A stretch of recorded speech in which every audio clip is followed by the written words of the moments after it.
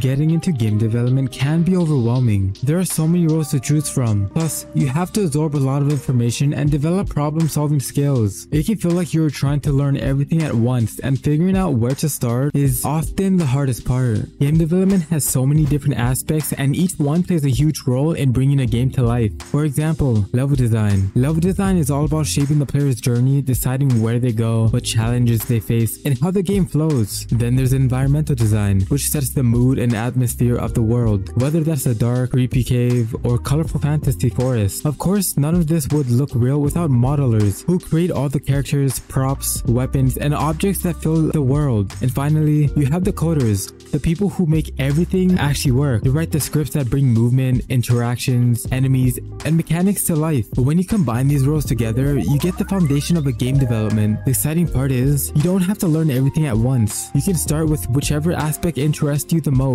and build from there. Level design is one of the most important and often underrated roles in game development. It's not just about building maps or placing walls. Level designers shape the entire player's experience. If you ever loved exploring a dungeon in Zelda, sneaking through a base in Metal Gear, or fighting across a Fortnite map, that's the work of a level designer. So what exactly does a level designer do? They design the flow of the game world, where the player starts, where they go, what obstacles they face, and how the game keeps them engaged. They balance pacing, difficulty, and exploration, all while making sure the world feels alive and intuitive. Think of them as architects. They create spaces that tell a story even without a dialogue. A hallway can feel safe or terrifying. A tower in the distance can silently guide a player to their next goal. That's level design.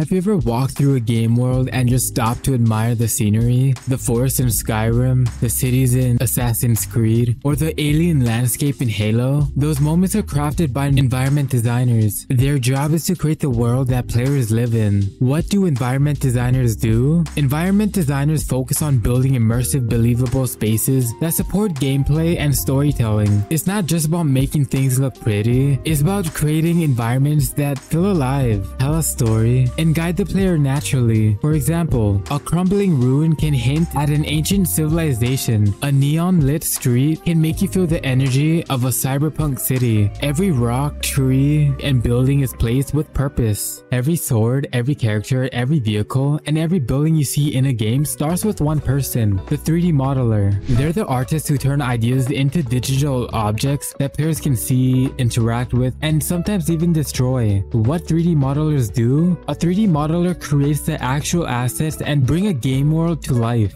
Characters, weapons, props, environments. If it exists in the game, chances are a modeler built it. Modelers work closely with concept artists and game designers. They take a sketch or an idea and translate it into a fully realized 3D object, ready to be animated, textured, and used inside the game engine. Without modelers, the game would just be an empty gray box. Every jump, every enemy attack, every menu you click in a game, it all runs on code. Coders or programmers are the people who make games actually work. Without them, a game is just art and ideas sitting still. So what does the coder actually do? They write the instructions that tell the game how to behave. That can mean programming, character movement, combat systems, AI behavior, physics, saving and loading data, or even the menus and UI. Coders turn design ideas into real playable features, and that's the big picture of game development. From coding and modeling to level design and environments, every role plays a part in bringing a game to life. If you're just starting out, don't feel like you have to master everything at once. Pick one area that excites you and start small. Every project you make, no matter how simple, will teach you something new. I'll be making more videos diving deeper into each role, so if this helped you,